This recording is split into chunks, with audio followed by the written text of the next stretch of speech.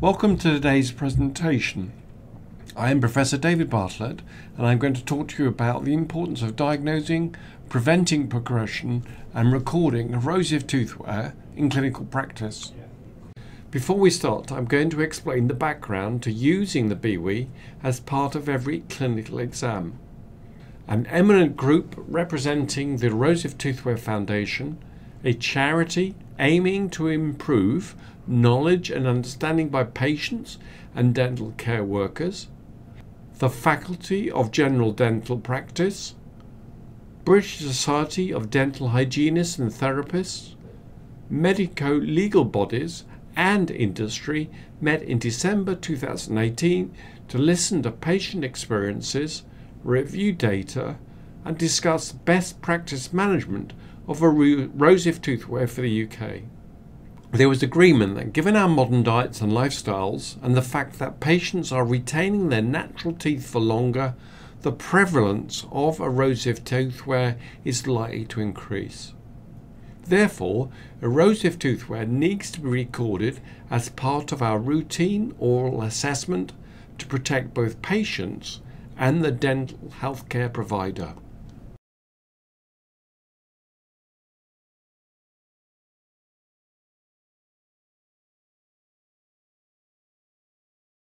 Let's start with the learning objectives.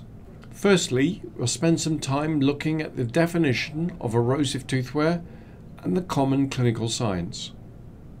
We will then look at the prevalence and the key risk factors, spend some time discussing the BWE with a short video demonstration, show you how simple it is to do and can be easily done at the same time as you perform the BPE.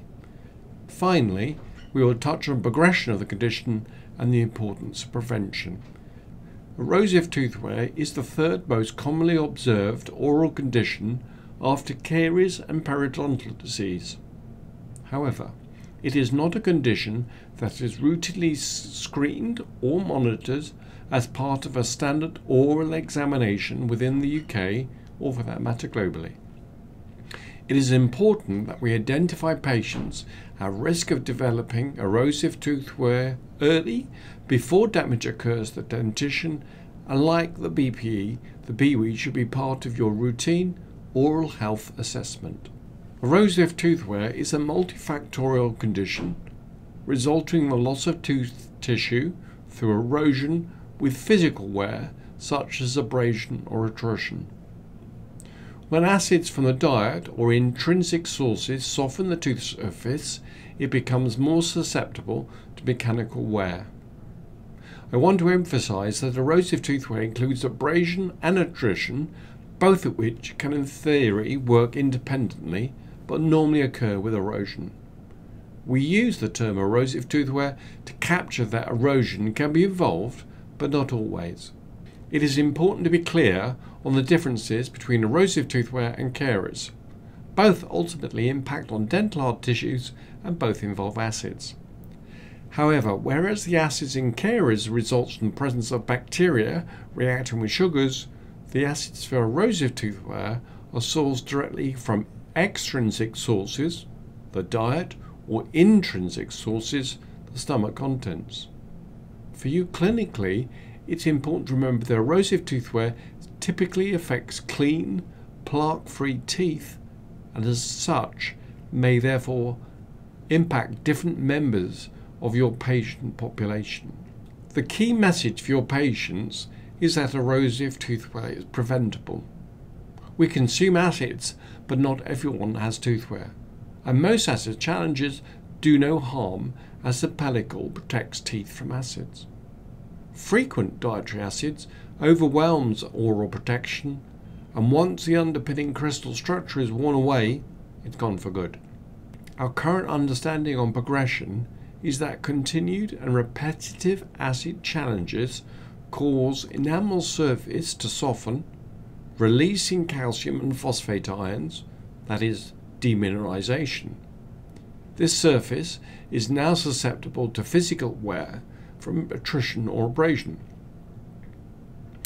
If the enamel surface is exposed to fluoride, for example from a toothpaste or mouthwash, they're taken up onto the surface and reharden, remineralization, resulting in fluorapatite, which is more resistant to further myelolytic challenges than the original enamel. It is important to remember the multifactorial nature of erosive tooth wear, as if the surface softened enamel is not exposed to mechanical forces from abrasion or attrition, it can remain intact. This image summarizes demineralization and remineralization. It is important to remember that after softening, if the underpinning structure is removed, it's gone for good. Saliva and fluoride will neutralize the acidity and slowly reharden the tooth enamel, but the process can be hindered if acid attacks are frequent or followed by an abrasive challenge, such as brushing with an abrasive toothpaste, as the enamel doesn't have time to repair or remineralize itself. Erosive tooth wear can occur on all tooth surfaces. The key teeth are the buccal surfaces of the central incisors and the occlusal surfaces of the mandibular molars. The teeth are clean and plaque free, and early signs are difficult to distinguish with unworn teeth. But as the condition progresses, it's easier to diagnose. The earlier you can diagnose a condition and start prevention, the better. So, recording erosive tooth wear in every patient helps to stop severe levels of wear developing. Early signs of erosive tooth wear for anterior teeth may include loss of enamel surface anatomy, producing rounding of the mesial and distal edges and along the incisal edge. Loss of enamel features such as mamelons and a glassy smooth appearance on the facial buccal surface. As enamel destruction becomes more pronounced, there is more hard tissue destruction and it becomes easier for us to identify clinically. Typical signs of anterior teeth are loss of palatal structure can reduce the support along the incisal edge. Distinct buccal lesions can also occur and grow in size. And as the condition progresses, the lack of support leads to fracture of the enamel and the teeth become shorter. As erosive tooth wear progresses, anterior teeth may show signs of darkening from the underlying dentine, a grooving or wear along the incisal edge, shortening of the clinical crowns. The teeth can become shorter, which makes it difficult to restore. For some patients, the pattern is asymmetrical and often is difficult to precise about the cause. Once it gets to this stage, then treatment becomes increasingly complex with a higher level of maintenance necessary for the patient. Signs of erosive tooth wear on posterior teeth or rounding of the cusp tips, loss of morphology, and the surfaces become shiny and glossy. As the erosive tooth wear progresses on posterior teeth, occlusal cupping and exposure of yellow dentine can happen as well as changes to the shape and height of teeth.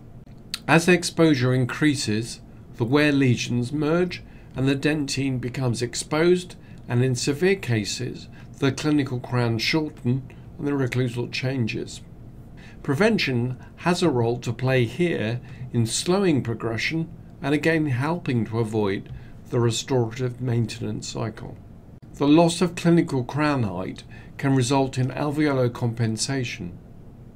The images here show how the maxillary teeth have seemingly over erupted, while the mandibular molars have almost no clinical crown height.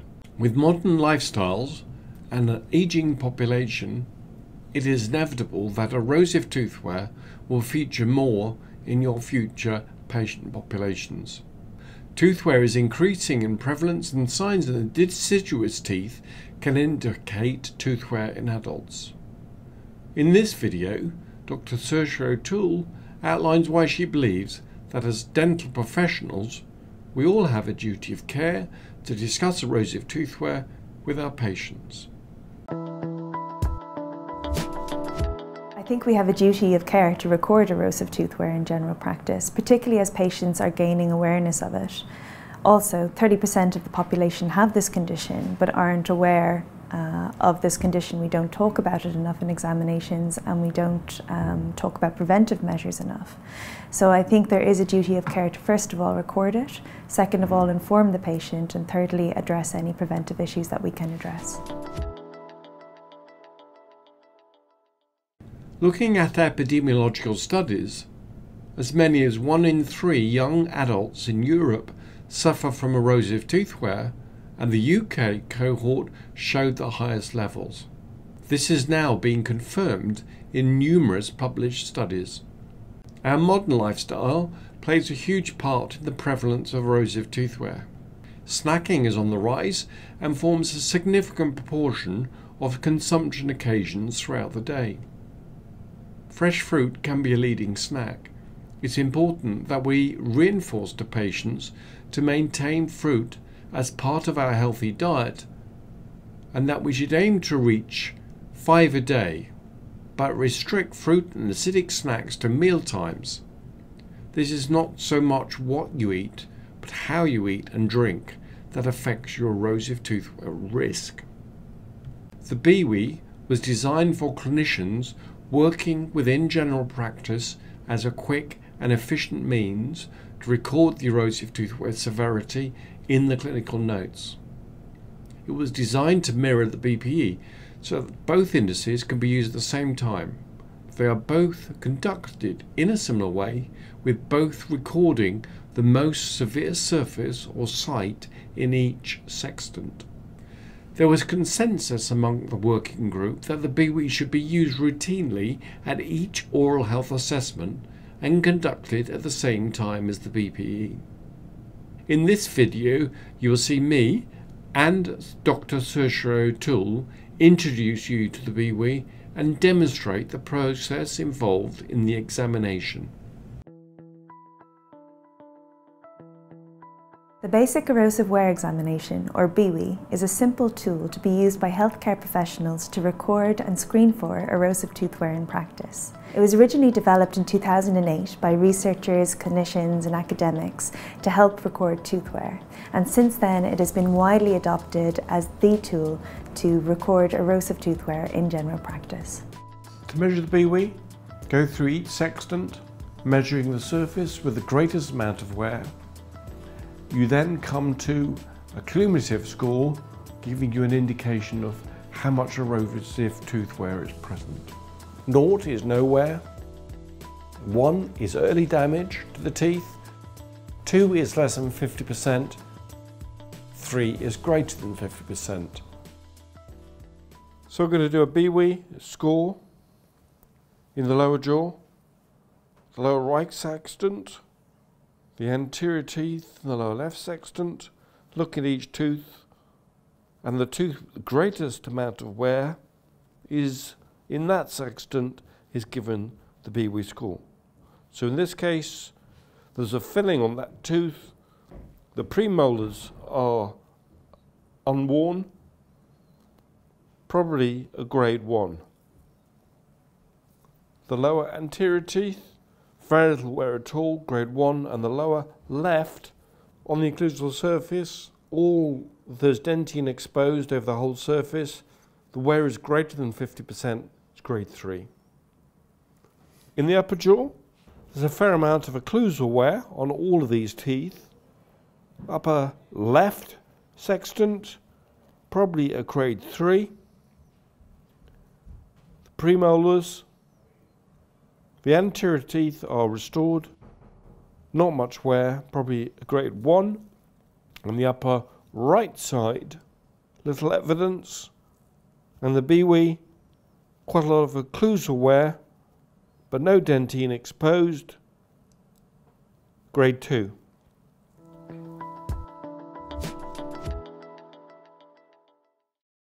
The BWE divides the patient's dentition into sextants and you score the most severely affected tooth surface within that sextant.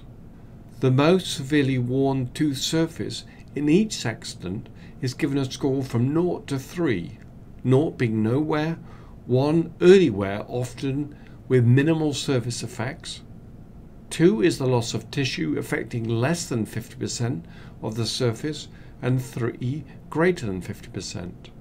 For both grades 2 and 3, dentine is commonly exposed. All wear is scored regardless of the underlying etiological agent. Easier to record more severe wear, grade 3, and grade 2 is easier to recognise than 0 or 1. A good tip is that grade 0 would normally be expected to be seen in newly erupted teeth in adolescents, but is unlikely in adults, particularly over the age of 25. I'm now going to guide you how to use the BWE. Score 0 is used for nowhere. Score 1. Here you can see early changes to the enamel surface with loss of mamelons and flattening of the enamel as you can see on these central incisors. Score 2. As you can see on the upper left central incisor, there is erosive tooth wear near to the cervical margin, but it's less than 50% of the surface. This image shows the erosive tooth wear has progressed to involve more than 50%, and dentine is showing with loss of clinical crown height. There is a logical process flow. Firstly, start off by considering if there are any signs of wear. If the answer is no, score is zero. If not, continue. If there are signs of wear in the sextant, choose the tooth with the most wear and evaluate the extent of the defect. If it is minimal and the change is subtle, the score is 1. For surfaces with more extensive defects, then consider if it is less or more than 50% of the tooth surface. If it is less, the lesion is scored 2, and more, then it is scored 3. Once you have assigned a score to each of the sextants, this is totaled up and can guide the management. Most importantly, you need to remember that if a patient scores 3 in any sextant, then they should be considered high risk. Note, it is at this point that restorative intervention may be indicated. For all other scores, prevention is the primary focus. I am frequently asked if the BWE is suitable for use in children. Whilst it is not optimally designed for children, it can be used as a simple tool for recording presence of wear. The key thing is to document and inform the patient or their carer. Remember, primary dentition wears at a faster rate than the permanent dentition, and published data confirms that erosive tooth wear in the primary dentition is a risk factor for the permanent dentition. Risk factors for erosive teeth wear are largely based on diet and behavioural factors. But please remember, it is not what you eat, but how your patients eat or drink that really affects the erosive tooth at risk. Things you must consider include the frequency of consumption, in particular outside of meal times, the way that food or drink is consumed, for example, swilling or swishing drinks or sucking on fruit, prolonged eating or drinking habits, for example, grating during the day, sipping on drinks. The erosive potential of foods and drinks is related to the strength of acid, partly based on pH, but also the strength of acid. Titratable acidity is a measure of the strength of the acid. Here we see that drinks such as apple or grapefruit juice have high erosive potential, whereas a cola drink has a medium potential. You can eat as much fruit as you like, but limit this to meal times. Follow a healthy diet, but avoid sipping, swilling, or holding drinks in your mouth. In this video, Dr. Saoirse O'Toole. shares some of the key risk factors for erosive tooth wear. We know that acid or an acidic component underlies all types of severe erosive tooth wear. So the things that uh, we are looking out for are first of all the diet and second of all any type of reflux activity. Um, the diet is something that we can prevent and control for and I think it's important to address that. So what we're looking for are what the patient is drinking throughout the day, what are they sipping on, um, We try to always advocate for just water, particularly between meals. The other thing to watch out for is snacking habits. If they are snacking on acidic fruits and uh, acidic drinks throughout the day, that's going to dramatically increase their risk of developing erosive tooth wear. Your key risk factors for erosive tooth wear are diet and reflux. If we look at diet, which is simpler, try and avoid eating fruit or acidic drinks between meals. It's the same story as caries. If you reduce that frequency, then you follow a normal pattern and the risk of developing erosive tooth wear is less. Three useful facts that I've found patients are often confused by and should be aware of. Firstly, water, sparkling water, milk and tea, coffee without sugar or fruit flavourings are safe. Be aware that sugar free does not mean they are less erosive. Thirdly, watch out for hidden dietary acids such as fruit teas or fruit water. Dr. Saoirse O'Toole shares her key tips for prevention. First thing I would say is to look at what you're drinking throughout the day. Um, if you're sipping on things like fruit teas, um, lemon in water, fruit in water, or any carbonated drinks or any juices, this is something that if you can switch to having those only with meals and having water or milk in between meals, exactly, exactly the same as caries, this is probably going to make the biggest difference. To help you, we recommend that you ask these questions to patients when you suspect or diagnose dietary erosive tooth wear.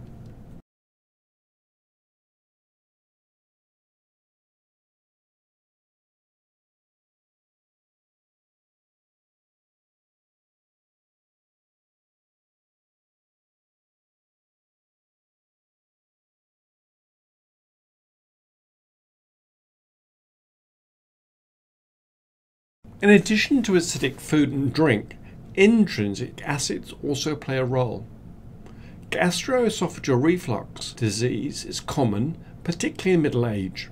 In addition, young patients may suffer from eating disorders which can impact on their dentition.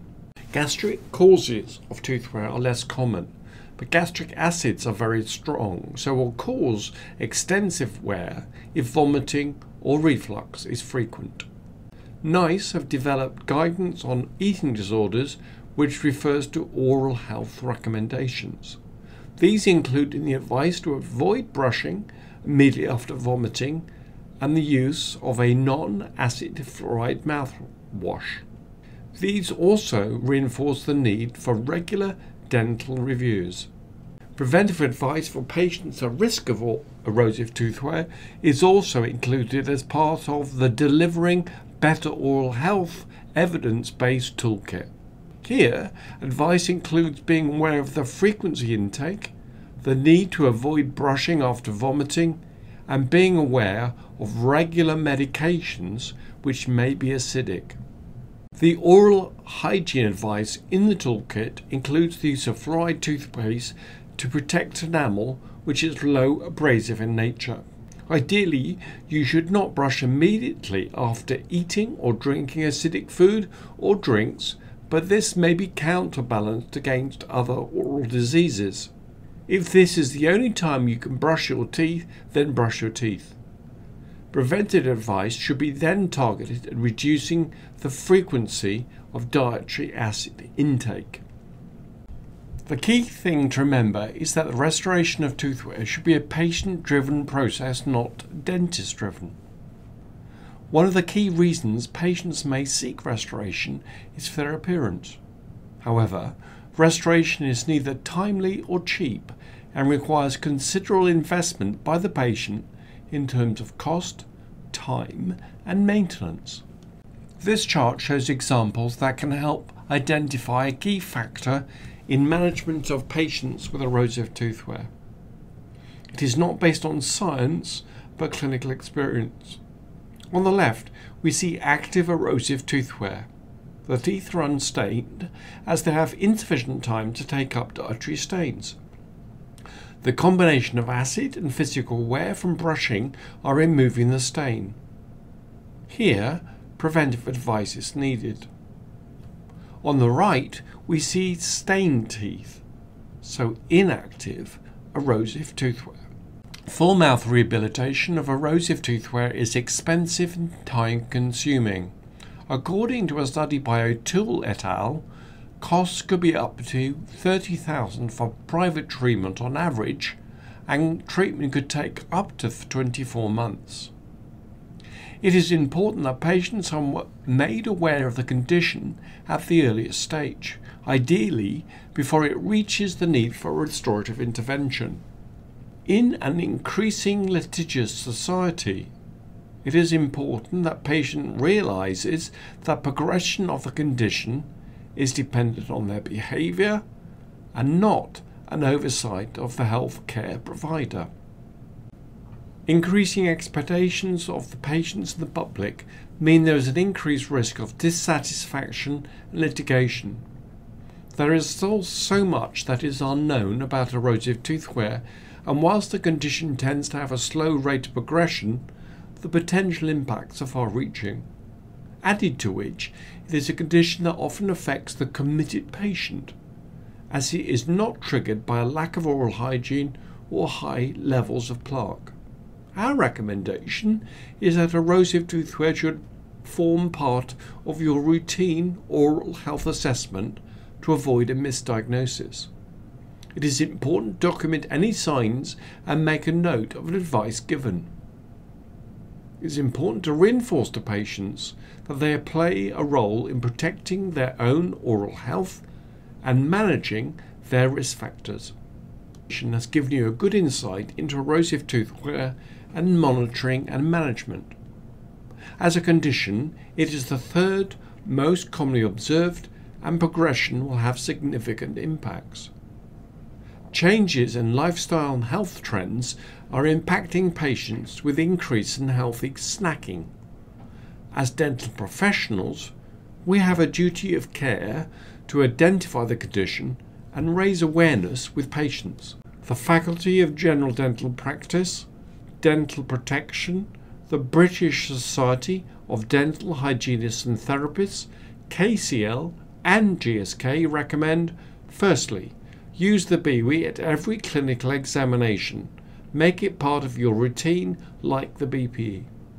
Secondly, give preventive advice and write it down.